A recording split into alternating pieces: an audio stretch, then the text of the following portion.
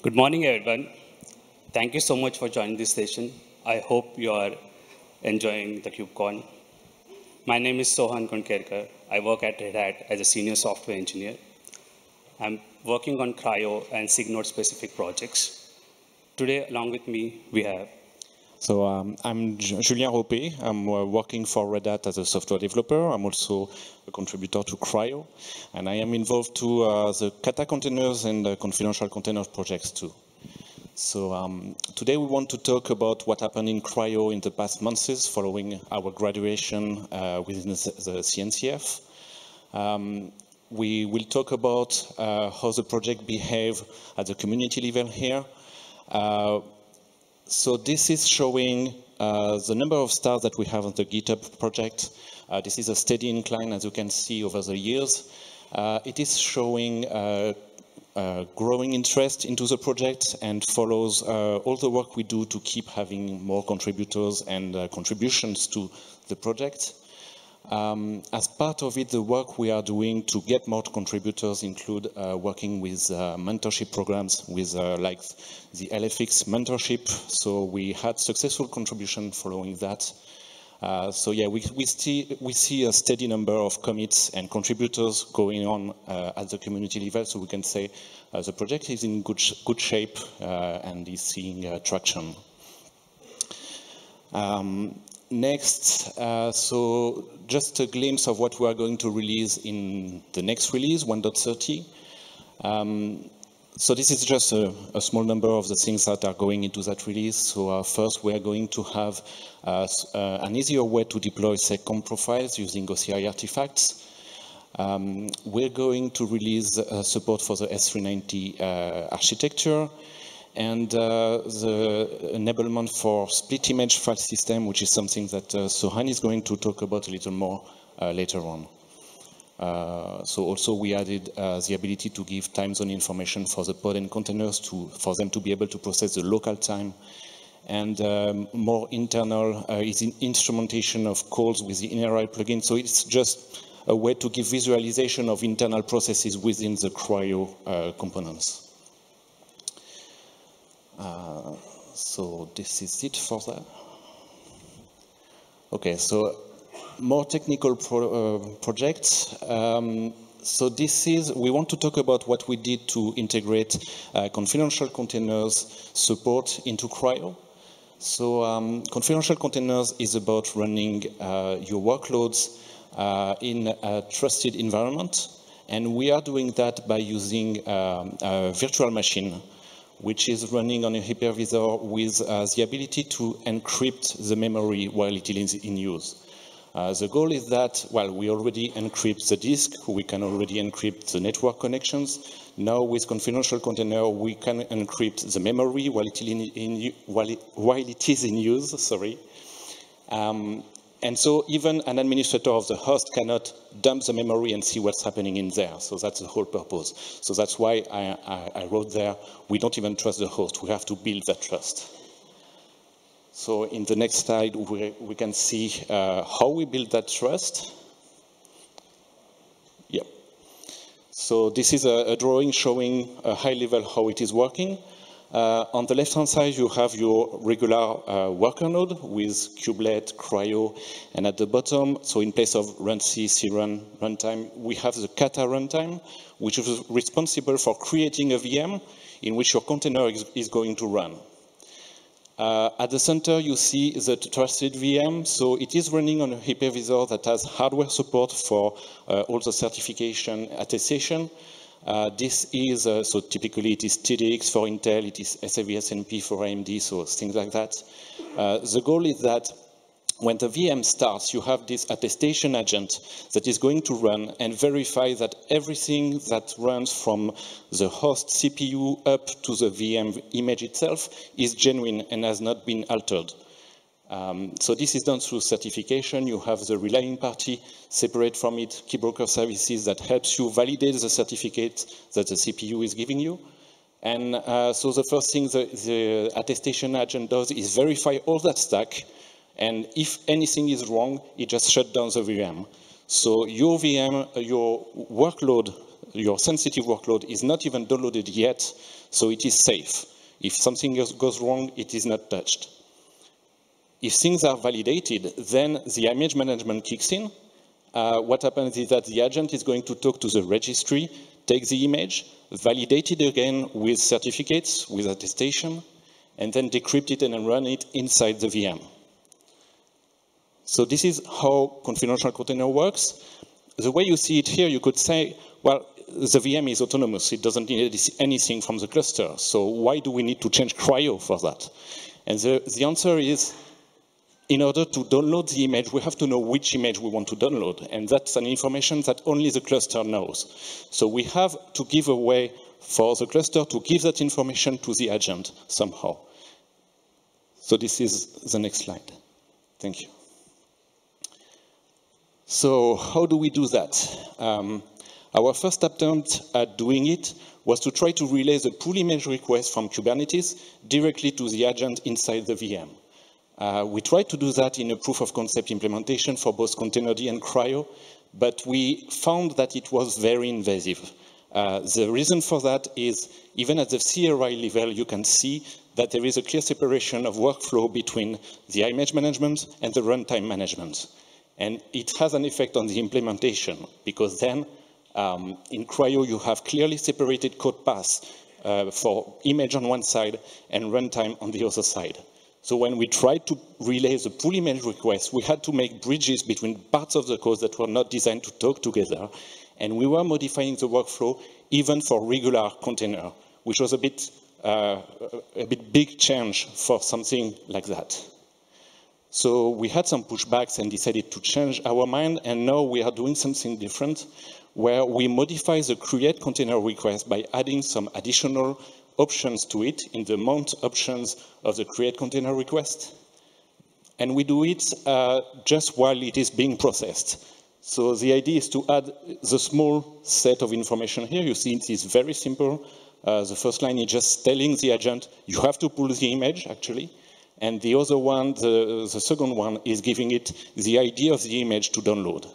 The rest of it are optional information that we may use later, but for now, for this feature, the two first line are the only one we need. So this has been implemented in Containerd using uh, the Nydus snapshotter. Um, so snapshotter plugins are uh, a way for Containerd to be able to prepare a snapshot for the container before pulling the image. And um, what the Nydus snapshotter does in the confidential container uh, situation is to pretend that there is a snapshot and so that Containerd doesn't pull the image, but instead of preparing it, it is just adding that information.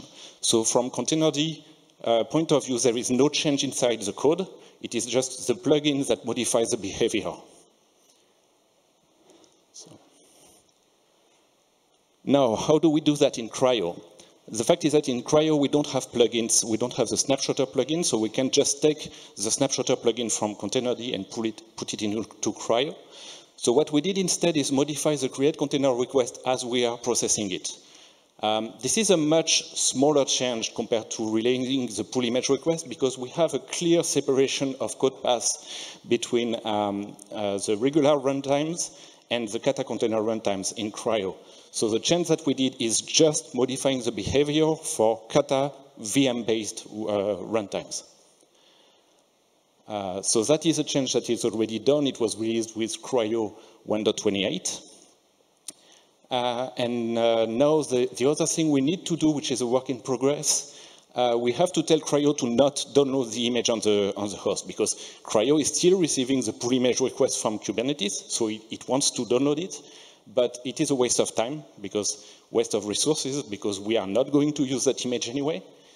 And it also can cause an issue because in confidential container, we may have encrypted containers image, and we don't want to share the decryption key to the host because we don't trust it.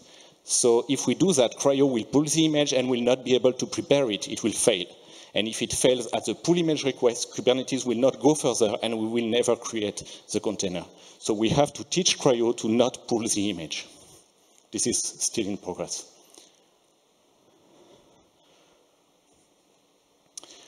So what's next on the confidential container uh, project uh, for CRI-O? So we have an alternative way of dealing with images. So you understand that the way I, I explained it before, each VM will have to download its version of the image. So it means that if you run the same container multiple times, you will have to download the image for each one of them. That's, again, a lot of resource being used. So we want to provide a way to scale that.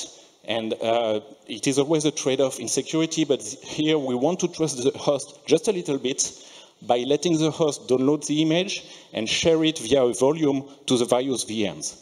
So we will have to put in place some encryption. We have to make sure that the image can still be validated to make sure that it is genuine.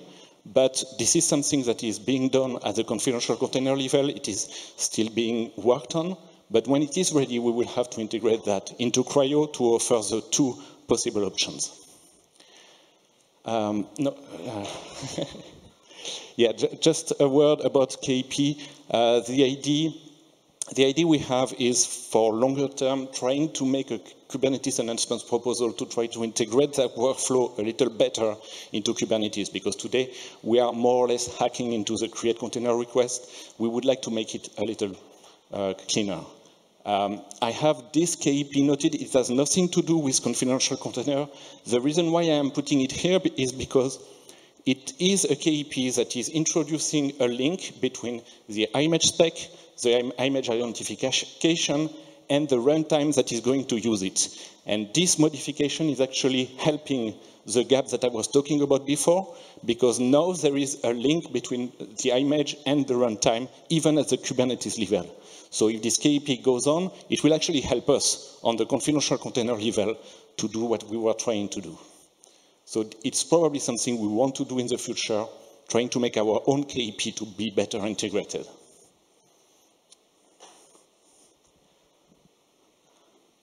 Okay, so talking about KEP, um, so this is a signaled uh, uh, some uh, KEP that we are doing um, about CRI stats and metrics. Um, so we did it couple, uh, some time ago, and it is about modifying the CRI implementation to um, to make the metrics from pod and, and containers uh, reported by Kubernetes have all those metrics come from the CRI rather than coming from cAdvisor.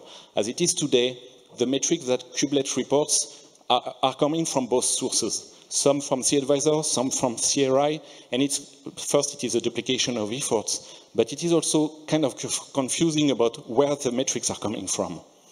Um, and it also requires cAdvisor to be aware of the runtime. So there is a dependency of cAdvisor on the runtime being used, which is counterintuitive because cAdvisor is a higher level component while containerd and CRI-O are just above it. They are talking to the runtime because they are running it, so it makes much more sense for them to report the metrics.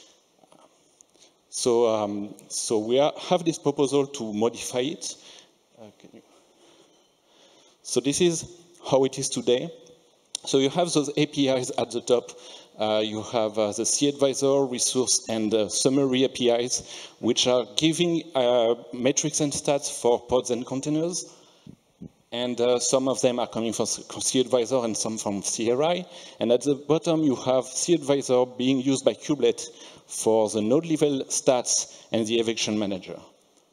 What we want to do next, um, you, thank you.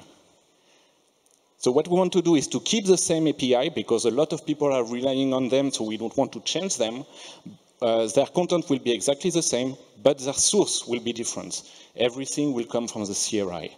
And uh, at the bottom, this is what we are not changing. Everything for the node level stat and eviction manager are still relying on cAdvisor. We are not modifying that.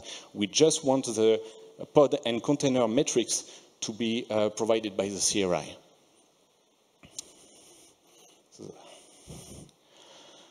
So uh, status update about that. Uh, we want to have this implemented in the next release, 1.30. We still need support on the container side. Uh, and when we have that, we can move the KEP to beta. So that basically means that the feature is there, it is available, it is feature gated, but people can start using it and try to see, hopefully to see that there is no change because the goal is that the same metrics are available in the same places. So that's it on my side. And now um, Sohan is going to continue with other SIG node initiative and uh, an idea of what is coming next in the future of CRI-O. Thanks, Julien, for setting the stage. So before we delve into the specifics of the split image file system update, I want to talk about the common pain points in the world of Kubernetes. The constant battle against the out of space, disk space. When provisioning a node, we intend to give adequate amount of storage for containers and for storing container images. Traditionally, container runtime uses a var directory to uh, store uh, either in a separate file system or within the root file system. And this is where the problem comes, where you might get some scarcity of disk space. In the context of this, split image file system in Kubernetes 1.30 is a game changer. It's an alpha in state currently, and it uses an approach where it separates the read-only image layer from the writable layer. What it does, it basically isolates the container at the same time address the perennial issue of disk scarcity. However, currently there is one limitation. When you separate the container runtime file system, there's a writable layer on the file system presently. If one tries to write to volume or ephemeral storage, then they try to write to Node.fs. So in that way, you will have two writable layers on two file systems. And this KEP doesn't address separating the writable layers from the Node.fs, which is predominantly mentioned for uh, ImageFS. Now let's discuss about um, the container runtime file system. It has two layers, read-only and the writable layers. Read-only contains image layers where you can spin up the containers without altering the images. And writable layers are basically writing the data on the disk.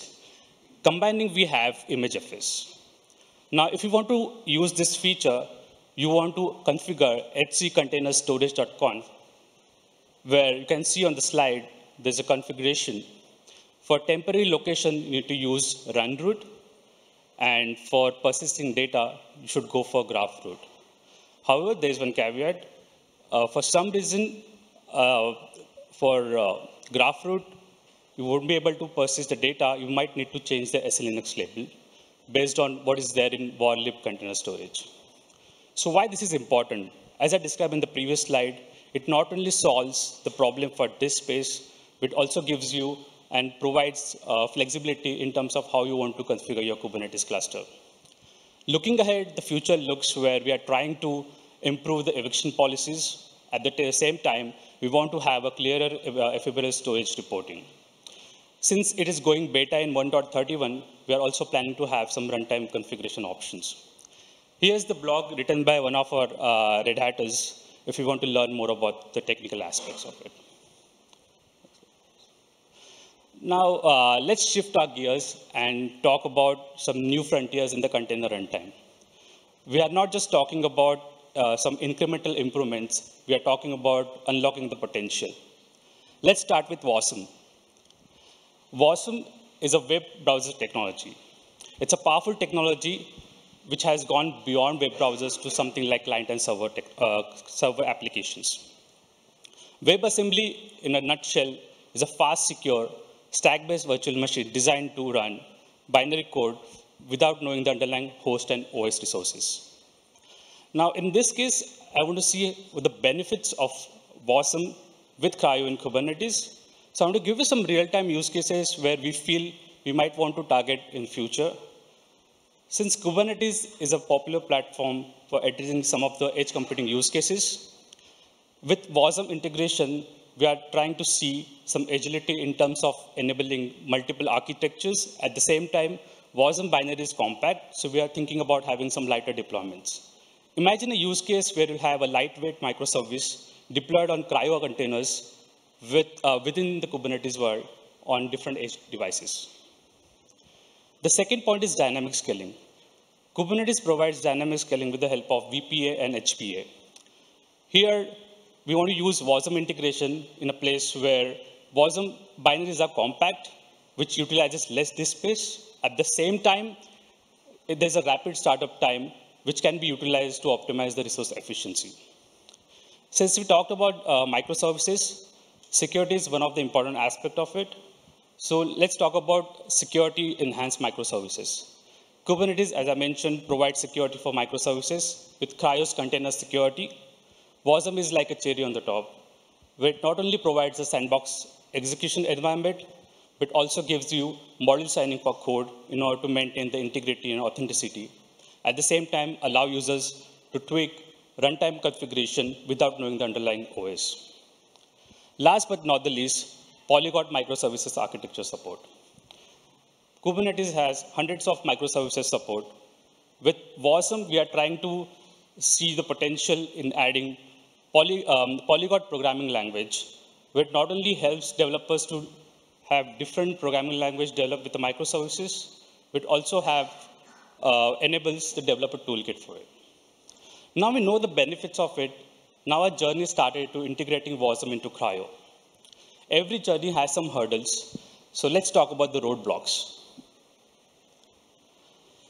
CRI-O, as the higher level runtime, supports two OCI runtimes, crun and runc. crun, uh, runc being the popular lower level runtime in Kubernetes, doesn't support WASM workloads. It doesn't have the native integration with WASM runtime. And that is where we, uh, comes into picture. CRI-O does support crun, and crun has a way to run WASM workloads with, an, uh, with the help of an image annotation. As you can see on the left-hand side of the picture, you can use the image, uh, image annotation. However, there is a caveat. Passing image annotation down to OCI runtime is not, um, it's not an ideal way.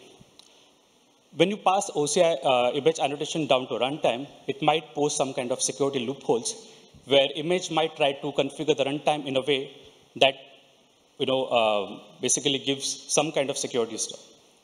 So in order to address this problem, uh, we treated images with WASI WASM as WASM.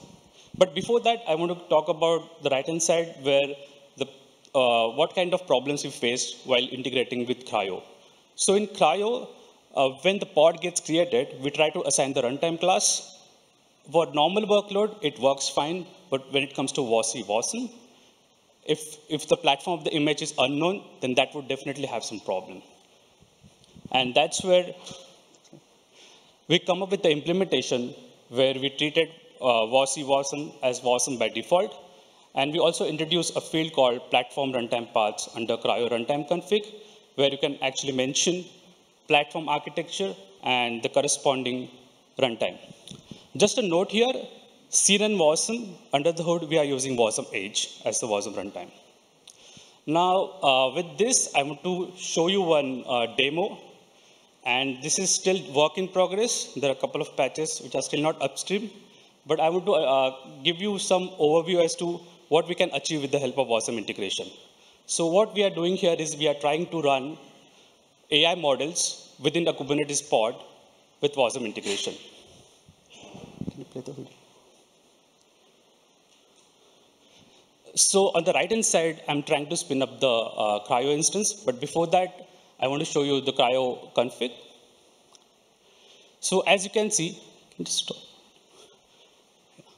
so uh, in this case, I'm using runtime environment. Uh, just need to stop.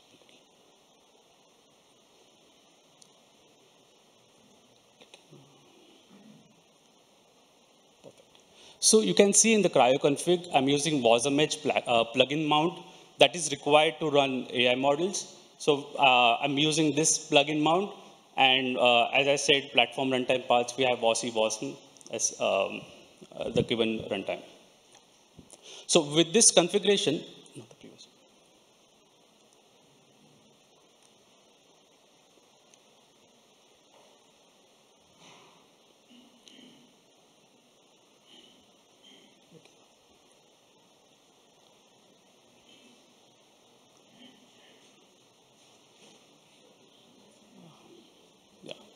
So uh, with that configuration, I'm going to spin up the CRI-O instance, and I'll be using that uh, runtime to spin up the cluster.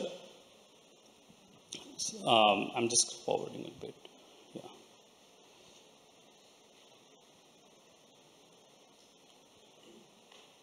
Yeah. Yeah. Just go to the level where uh, cluster is been abandoned.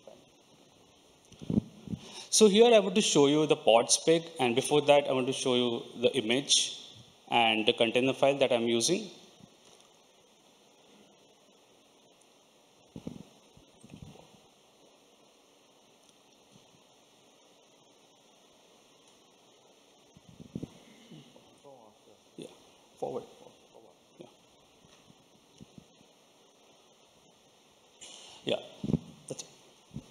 So uh, here's the container file. We uh, usually know that as Docker file. So in this case, I'm trying to set the environment variable uh, which is required to run AI models. The first one is the plugin path, which is required for Llama Edge. And the second one is the plugin that we required uh, to uh, run, uh, I mean the model that is required. And I'm trying to run uh, Llama Chat. Awesome.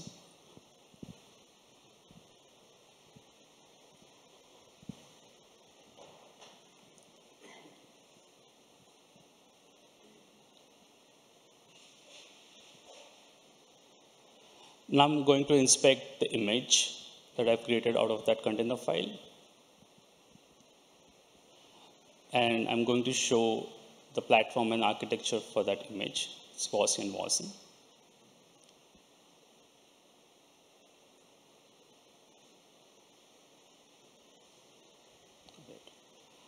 Now, let's see the pod spec for it.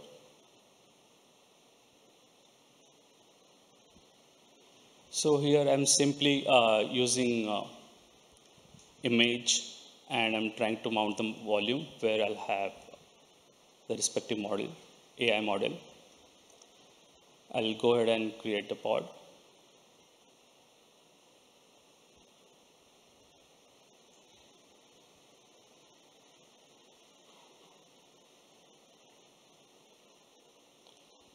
And the pod got created.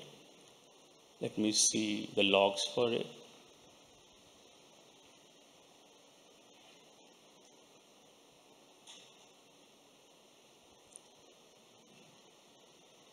Now, as you can see, the model started running. I'll attach that to a container and I'll start conversing with the bot.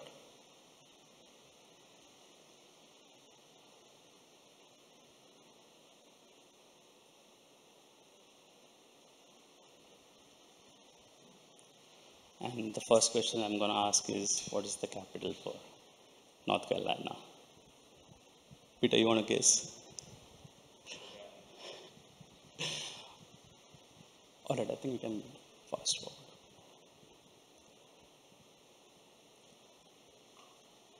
So under the hood, we are using uh, LlamaEdge, like Llama uh, model. And since it's an experimental one, you can get the proper answer, but yeah. All right. So with this, let's transition to our next topic, uh, which is hard enough, Podman in Kubernetes. Here, uh, what makes Podman so special in Kubernetes is its way of running containers. Here, Pod, uh, we are talking about Podman integration. We want to talk about the concept that Podman employs, that is running rootless container inside the containers. So in order to achieve this, we want to actually help, uh, take help of a couple of uh, upstream KEP that we're talking here today. With rootless containers, we're not only trying to solve the security aspect of it, but also helps in mitigating some of the issues that we are facing for a long time. So the first KEP I want to talk here is proc mount option. So before I talk about proc mount option, I want to talk about what is proc. It gives you a system resources information. And kubelet basically instructs container runtime to mask certain parts under container, uh, under host. So containers, um, the information uh, uh, for host, uh, for containers shouldn't be visible information for the host shouldn't be visible for the containers. However, for running the unprivileged containers, we need to ensure that uh, certain paths under proc should be visible, and that is where this option comes into play, where the moment you mention under security context, proc mount unmasked, you'll be able to run unprivileged containers. The second missing puzzle for this is user namespace pods. Here's the GitHub issue for that. What user namespace does is it isolates the security identifiers for enhancing your security. So you, you, uh, you want to run few processes inside the pod that will have different set of ID and GID compared to the one on the host. This will help us in running unprivileged processes on the pods, which might be um, privileged processes inside the pod, which might be unprivileged on the host. And this will definitely mitigate the security because even if the container breaks out, it will still be there under that same user namespace and will not hamper the host specific information. Now I want to talk about the examples. So as you can see on the first two, uh, left two examples, it's about running privileged pod with rootful and rootless containers. In an enterprise-ready Kubernetes, those use cases are very important, but getting privilege is something very difficult. And that is where we thought of uh, using unprivileged pod with rootless containers. As you can see in the pod spec, we are using annotation, which is supported in, uh, supported in CRI-O releases. And uh, you need to add SELinux options with type container engine T. So th this is a new label that we have added under container SELinux. And you can use this one for privilege SCC. Here SCC stands for security context constraint, which the administrator use for setting the permission for pods. The future work for this is to add custom SCC for running uh, container engine label. You can also use user namespace pod. Uh, as you can see on the left side, the pod spec that we have. Uh, you need to have annotation, then you need to mention run as user. Then uh, in order to use user namespace, you need to put host users as false. And on the right-hand side, we have the CRI-O config that would be utilized to run unprivileged pod with rootless containers. This setup is still in flux. We might see some changes, but, but if you want to run this as is, you, can, you, need, you need US container SELinux package with uh, uh, container engine T label And uh, we should also have kernel with ID map mounting. And since this is an experimental feature, this is supported in Kubernetes and CRI-O release starting with 1.29.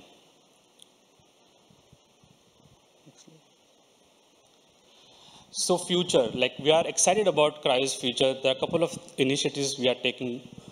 You can definitely go through that uh, QR code and see the future roadmap for CRI-O. Here are the highlights where I want to talk about this automatic reloading of mirror config registry. So there's a project called Spegel. They want to add CRI-O support into them. So from CRI-O side, we already started working towards this particular feature. We also want to implement Rust-based NRI framework. We talked about WASM. WASM is a big thing now. We want to add WASM plugins directly loaded into CRI-O. So, and last but not the least, want to add support for FreeBSD. Yeah, you can, uh, with this, those who are new to CRI-O, try out, uh, we have GitHub, we have Slack, you can scan the barcodes. We want to hear from you how you like it. Do you need any feedback? We are here to uh, address those. And with this, that ends the presentation. Thank you so much for your attention, and we are open for questions.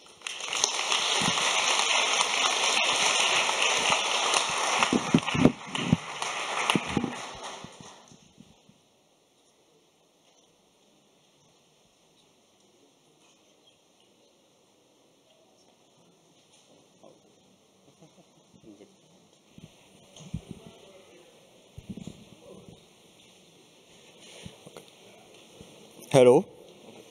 Hey. Um, I've heard about your talk about the confidential computing part, and I have open questions about that. The first one, where are the VMs exactly running? So the VM can run, uh, basically the reason for confidential container at the beginning was to be able to run your workload in public clouds. So the idea is to be able to run your, your VM in uh, any uh, hypervisor provider and still be uh, confident that nobody can access it. Uh, so this was the root of the project, but you can actually uh, imagine doing that on bare metal too. And uh, if you have the support ha supported hardware, have your cluster run uh, with TDX or SEV-SNP and run your VM inside it also. So uh, it works both ways. Okay, so it means it doesn't have to run on the worker nodes, so it can be run on a completely different machine. Yeah, totally. You don't have to run the VM on the worker node, it can be elsewhere. Okay. And uh, how do you ensure high availability? Uh, that's a good question. I don't have the answer for that, to be honest. Uh, I am working on the virtualization side, so uh, that's a question that I think we should ask to uh, the other member of the, of the uh, confidential container team. They are around you, actually. And we, we also have a talk at 2.30 uh, this afternoon where you can find them. So if you want to ask questions more related to confidential containers, I think this is where you, you should go. Okay, thank you very much. Now open questions.